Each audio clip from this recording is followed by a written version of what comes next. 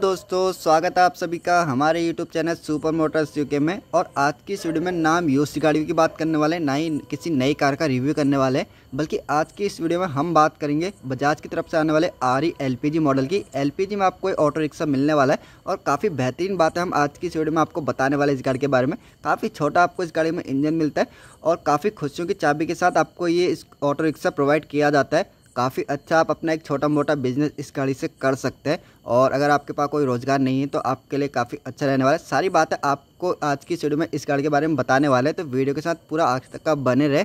अगर वीडियो पसंद आए तो वीडियो को लाइक करना ना भूलें। सबसे पहले फ्रंट से बात करें तो काफ़ी बड़ी आपको इसमें विंडशील्ड मिलने वाली है। साथ ही उसी के नीचे की तरफ़ आपको मिल जाता है टर्न इंडिकेटर हेलोजन में आपको इंडिकेटर मिलने वाले हैं। साथ ही सामने की तरफ़ आपको काफ़ी बड़ा वाइपर मिल जाता है विंड सीट को क्लीन करने के लिए। बारिश के टाइम में काफ़ी यूजफुल बन जाता है ये।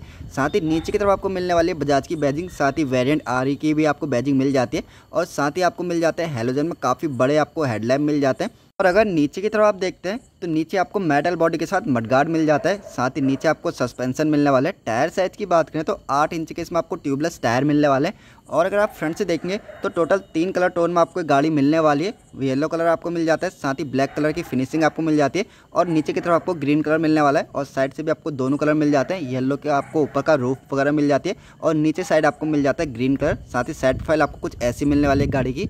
इस गाड़ी के टोटल लेंथ की बात करें तो छब्बीस सौ पैंतीस एम की आपको इसमें लेंथ मिलने वाली है। वही इंजन के वेंटिलेशन के लिए आपको एयर वेंटिलेशन का पॉइंट मिल जाता है। नीचे आपको एलपीजी भरवाने का पूरा सेफ्टी के साथ पॉइंट मिलने वाला है।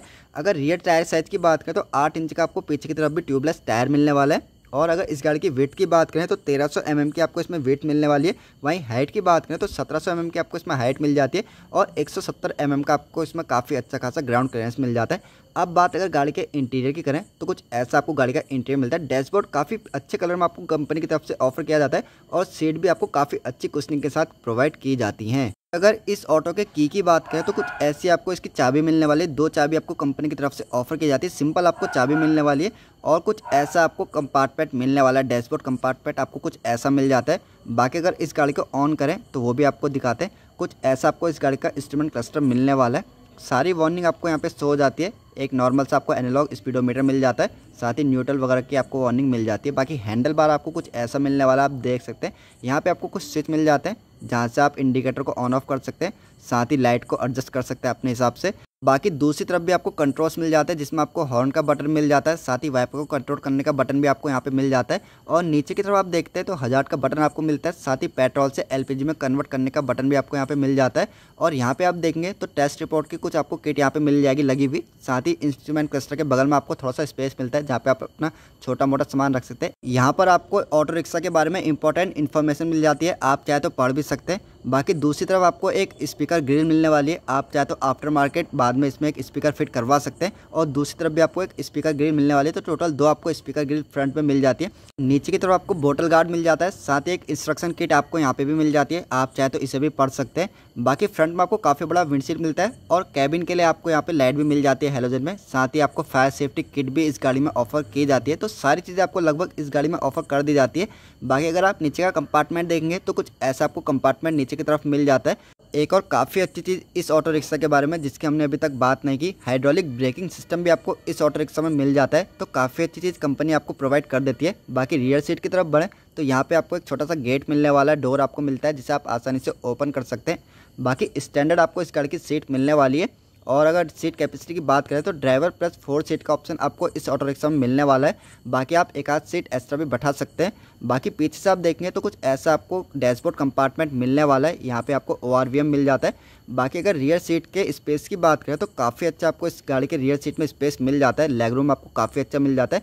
बाकी आप देखेंगे तो चार लोग आसानी से इसकी रियर सीट में बैठ सकते हैं। जब बात आती है कि पैसेंजर का सामान कहाँ पे रखें तो रियर सीट के पीछे आपको काफ़ी अच्छा स्पेस मिल जाता है, जहाँ आप अपने पैसेंजर का तीन से चार छोटे छोटे बैग आसानी से रख सकते हैं तो इस मामले में भी आपको किसी तरह की कोई असुविधा इस गाड़ी में नहीं होने वाली है।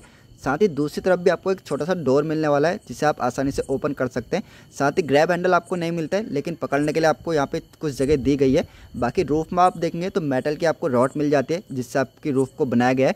साथ ही फायर सेफ्टी किट भी आपको इस ऑटो रिक्शा में मिलने वाली है। साथ ही पार्किंग ब्रेक्स भी आपको इसमें मिल जाते हैं तो कंपनी काफ़ी कम बजट में आपको ये सारे फीचर ऑफ़र कर रही है। और अगर आप बात इस गाड़ी के इंजन स्पेक्स की करें तो दो सीसी का आपको इसमें इंजन मिलने वाला है, जो कि पावर प्रोड्यूस करता है नाइन हॉर्स पावर की।